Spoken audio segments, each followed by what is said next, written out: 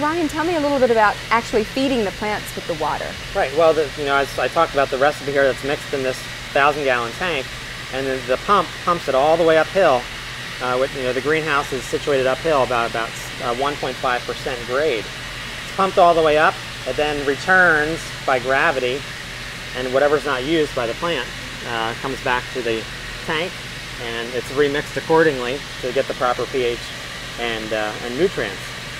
Um, so there's a constant flow. This, this white noise of the pump is 24-7.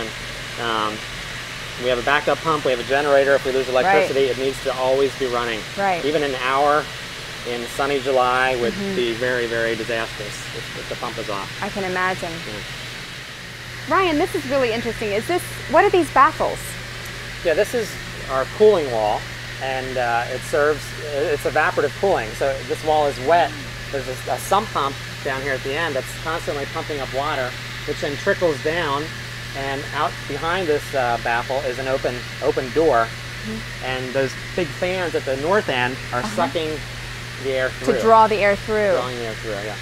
Wow. So this it serves to cool, mm -hmm. but also serves to add some humidity on dry days. Sure, right. sure. And while we're on the humidity, what are these tubes that keep inflating yeah. randomly? It seems. Yeah, there's a big jet fan at, uh -huh. you know under each under each uh, end there. And depending on the time of year, it runs pretty much evenly all, to, all the time in the winter when it's, it's distributing the heat and making it have a, uh, an even level of heat. Basically, it's, it's just evening the moisture and the humidity and the temperature in the whole greenhouse. Helps distribute an even, even flow. Now, Ryan, as we were coming in, we actually came through two doors. Why, why was that? Right. Well, the first door we came in from the out, from the outside has an air curtain like okay. you would find in a grocery store or something. Uh, it's to, to blow any bugs off and keep the bugs out as you're, okay. as you're coming in. Um, and then you come in this door, and that, that you know that we call it the head house. Um, some people would choose to change their clothes if they're coming from a field or something. So that, that room just serves as, you know, you're changing environments from the outside environment to the inside environment. I see. Well, so just because you're growing in a greenhouse doesn't necessarily mean you don't have pests. So what, what, sort of, what sort of pests do you battle in the greenhouse? Um, you know, right now it's a pest. Uh, we have algae gnats. They're not going to hurt. You know, they're they're a pain in the neck uh, if they get to be alive. Most gnats are. yeah. Um, so oh, that that that battle is just keeping dry, keeping puddles dry, not letting algae mm. build up. So um, that, that's not a serious pest. Last year we, we had aphids, which love romaine and uh. baby bok choy. Um, you know, in that event, we would get uh, beneficial insects. Mm-hmm. Uh, it was some kind of wasp larva. Sure. you just sprinkle, and they eat the, they eat the, the baby uh, aphids. Um, but really, we, we only did that once, and our other thing is to just keep keep it very clean. You know, we, mm-hmm. we sterilize the channels, wipe them out. It looks very clean. Yeah. yeah. yeah.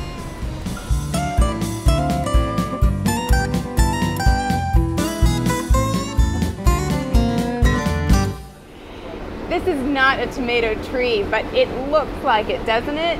Ryan, how long ago did you plant this? We planted these seeds about December 4th or 5th of last year. So six months ago. Right.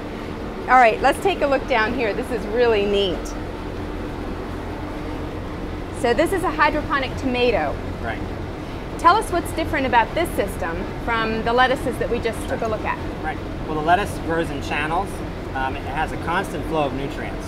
The tomatoes grow in a bucket, and they don't use rock. We do plant the seed in rock wool, but then inside this bucket is uh, what's called perlite, which is that white stuff that's yes. in potting soil. Yeah. Um, so the roots are growing in that bucket in the perlite. Now they're fed. Uh, the nutrients are mixed, and we have the acid to lower the pH. Everything's sort of similar there, but they don't get a constant flow. Every 20 minutes during daylight, you know, dawn to dusk, they get fed every 20 minutes um, according to how hot and dry it is, the air is. So it might be two minutes, it might be two and a half minutes, but each plant gets their own little feed tube and the nutrients just trickle down, uh, you know, like I said, every 20 minutes. This is fascinating. So you'll replant these tomatoes in December. Right. So yeah, yeah. At the end of the year, you know, we'll decide to tear them out. If the winter is pretty hot, hard and quick, you know, we don't want to spend money on heating because we don't have a lot of tomatoes in December. So when we tear this out, all these vines have to come out. It's a lot of work. It's weeks of work. Yeah. Um, then we got to sterilize the house, get rid of any kind of fungus that was present, and uh, you know, dump the buckets of perlite out, get new perlite loaded in there. So it's, it's a lot of, it was last December was our first December with tomatoes and it was a lot of work to transition from one year to the next. Sure, sure. Well, it is a year-round operation. Right. What, tell us about the production that you get from Yeah. Season to season. You know, Right. does it slow? Can it slow? I mean, I- you can control all that, right? Right. Well, the one thing we don't control is we don't have grow lights. So you're going to get increasing amount of grow lights up to about this time of year when we're at you know the longest days of the year. Sure. So we do see you know we get maybe four percent of our tomatoes in March, but we get you know 20% of our tomatoes in June and 22% in July. You know we get a lot of them in the summer, just like you know you can get a, we grow tomatoes in, outside in the summer. Right. But we but we do grow you know.